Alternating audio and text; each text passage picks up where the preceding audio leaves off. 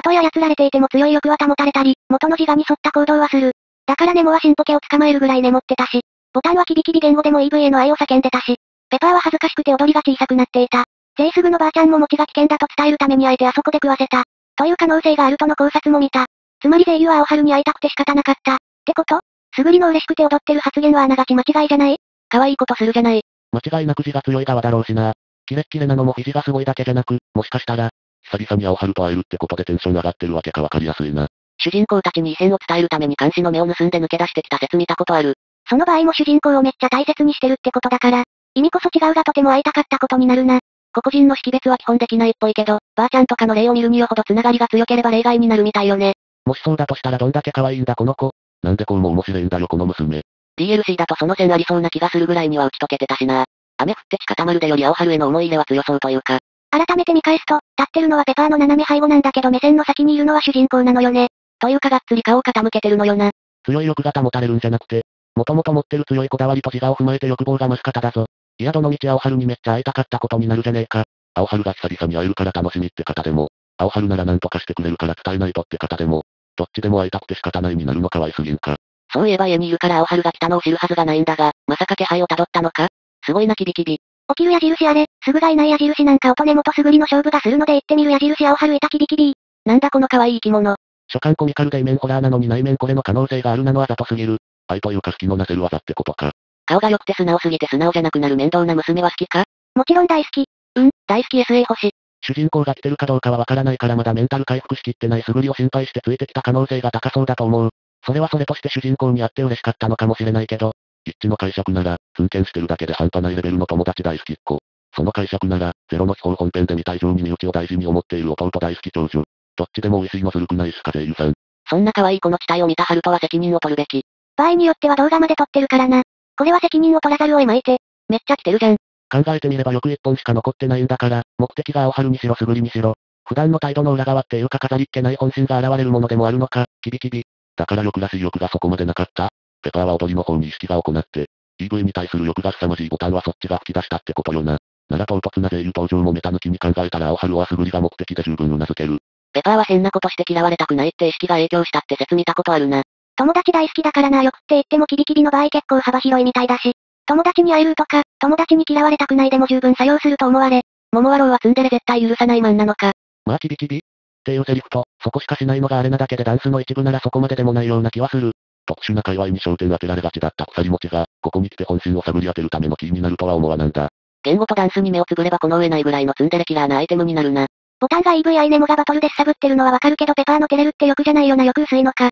桃和郎さえ押せれば平和な方面でもすごく便利なアイテムになってる。でも踊るのは恥ずかしかったり筋肉痛だったりで問題あるからやっぱ封印かな。欲が物欲に向かなければだいぶマシなんだな。とりあえずキビキビ見たさでレホール先生とブライア先生に食わせちゃダメなことはわかる。税油が青春に会いたくて、もしくは素振りが心配だからで即座に動き、ネモはいつも以上にバトりたがってた、と考えるとあの二人が行く場所はもちろん。前にも言われてたけどそもそもまず言葉が通じねえから余計まずいのよな。桃和郎の話なのかレホールブライアの話なのか。どっちも当てはまるのが、ポケモンだから言葉がうまく通じないのと、キビってるから全く通じないのと、ってことか。先生たちの場合は力ずくで止めなきゃになるな。個人的にジニアあたりも食ったらちょっと危ない気がする。ブライアとレホールの行き先になるであろうエリアゼロにいたオーリムフプー本人たちは式見る感じ鎖持ち食ったんかってくらいの狂いようだったな多分シラフでだけど。そういやテラスタル結晶に欲望を増幅させる作用があるみたいな考察が本編の考察でされてたな。まんま鎖持ちみたいに。個人的にはカキツバタに食わせてみたい。気になるよね。訳ありとダラダラのどっちが本心なのかって。キビキビダラダラとか言ってたら後者なんだろうなと。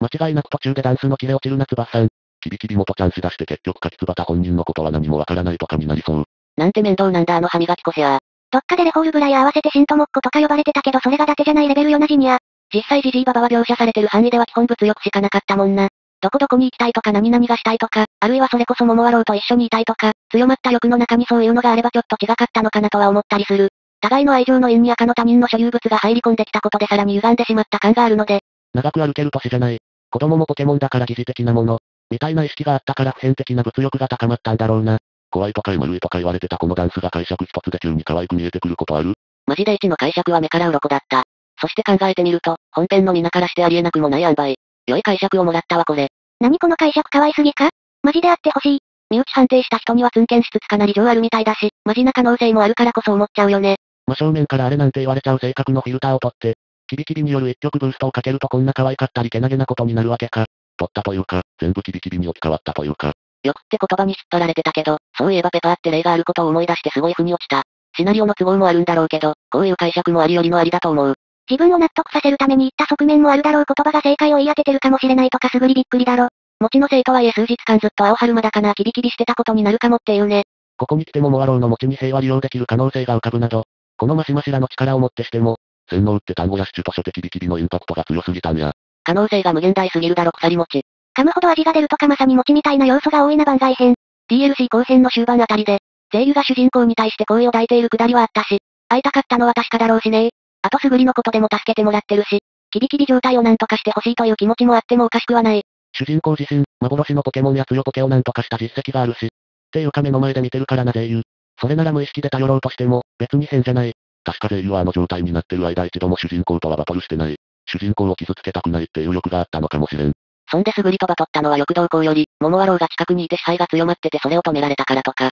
心身壊してるのは知ってるけど、一人で立とうとしてるのも知ってるからそれが影響したとかそんな感じなのかもね。思い返すと思い当たる描写多いのほんま面白いし可愛い。配信されてまだ1ヶ月も経ってないとはいえど、まさか個人限定でキビキビダンスを可愛いと思う日が来ると思わなかった。しかも初っ端のインパクト要因の印象をがらりと覆して。ペパ先の控えめダンスが可愛いぐらいかな、なんて感想をぶち抜いてきたよこの解釈。じじい焼きそば食べれば戻るじゃろうか。ぜキビキビ青春早く来て。ぜゆきびあれ、すぐがいない外かな？ぜゆきびキビキビやすぐいた青春もいる。こうですか？片方じゃなく両方が当てはまるのが最初で、ついでちょっぴり青春に傾いてるかが次の可能性なところに税油の性格が現れてるというか、実際問題すぐのことちゃんと心配してたし、そんなすぐが勇気を出してお友達である青春とその友達を呼んで一緒に遊ぶってなったら、すぐが心配も私も青春と遊ぶのよもむちゃくちゃ強い感情で出てくるだろ税油ちゃん。どっちも混ざった結果があの唐突な登場だと思うと、ほっこりとニヤニヤで怖さも半減してくれるわ。声優って主人公が声かけてからはずっと主人公見てるんだよな主人公のヘドバンが強いの声優の目線が合ってるからだし内心助けてなのかやった主人公だなのかは知らんが心を開いてるのはよくわかる。声優もすぐりと同等かそれ以上に主人公にでかい矢印向けてたってことでよろしいか？そうであっても全然不思議じゃない。すぐり以上とまで言えるかはわからんが相応にでかい矢印は向けてると思う。なんならすぐりはメンタル回復する前が一番明確に強い矢印向けてた感じするし番外編時点では同等くらいかも。その矢印が欲の増幅で何にも置いて一番に出た。ってことか。まずすぐりの剣での運がでかいからな。秘密を共有してるしてた中でもあるしね。初手からの振り幅もあるから大きくもなる。私を見かけたら2秒以内に声掛けなさいとかそれに対して嫌そうな反応を見せたら見せたで喜ぶしこの女最強か？良いだろある意味無敵の女だぜ。改めて青春の友達が、青春に向けてる感情でかいんだなってなる。なった。示唆するものの一つにダンスが加わるとは本人も思わなかったろう。ホームウェイ組と素振りがいるから相対的に軽いってだけだからね割と大きいよ税優も。よっしゃブルーシャシに食わせてみっか。なんじゃも一直線になるのか否か。番外編後の黒歴史って発言と、このスレの解釈で一つ思いついたことがある。まずキビキビパニックの顛末を青春と素振りからみな聞くわけで、その時にふと青春がネモはネモだったりボタンが叫んでたりペパーの踊りが小さいことを思い出して、何か共通点あったかなみたいに考えて意欲とか大切なものに対する感情が暴走したって思いつくんだ。そして、じゃああの時いきなり現れた声優はって自然と話が傾くんだ。声優さん、まさか青春超大好きで素振り超心配なのがバレかねないし恥ずかしいから黒歴史なのでは声優さん口悪いけど優しいよね。優しいしマジのマジで顔もスタイルも良いんだよ。性格がボタン曰くあれかつ口悪いのがフィルターになっちゃうだけで。声優は存在だけどツンデレじゃないから言葉が傲慢なだけで好きなものには分かりやすい行為向けてくるよね。それがキビキビでより分かりやすくなった可能性があると。確かにキビキビダンスに可能性は感じてたけどこんな心が現れる可能性は想定外だわよい。あの人件以降、声優が開き直って行為を隠さないようにする展開ないか。言動中の行為の割合と意味合いが強くなるだけでいつもと変わらないだろうな。ペパーは我慢して生きてきた分、自分の欲をさらけ出すのが恥ずかしいんじゃないかって説見た気がする。ネモバトルしようよバトルほら新ポケもいるよバトルさあバトル。ボタン EV 最高 EV 最下はやー。ペパー欲望をさらけ出すなんて恥ずかしちゃんだぜ。それに嫌われたくない。声優すぐ、どこ行ったのは、いたって青春もいるじゃない会いたかったおかしいな。割とホラーだったはずなのにな。なんだこいつなど可愛いな。なんならぜいすぐじいちゃんばあちゃんの。声優はこれにやられてすぐりとお友達がいればまだだからじいさん生贄になりな。ばあさんに生贄にされたうわぁ。も追加されるからキビキビのギャグ要素がよりマシマシになるぞ。言い方鎖持ち。じいさんまさかのやけくそキビキビ説浮上。キビキビ言って踊ってるから妙に生めかしかったり怖いんだけで、当人たちの内面と誇りとこだわりの強さを今一度把握できるものなんだな。実際そこまで脚本の人が考えてるかわからんけど可能性としては十分ありえそうなのが良い。確かにちょっとだけ隠れてる本音を描写するのにぴったりなシチュだし、実際ペパーは確実に、声優も十分あり得るレベル可能性として仕込まれてるかもしれないとは。いやはや盲点だったわこれは。素振りが心配で駆けつけてキビキビ、青春を見つけてさらに上機嫌キビキビ。声優の可愛さが深まる解釈、素晴らしい可能性をまた一つ見つけることができた。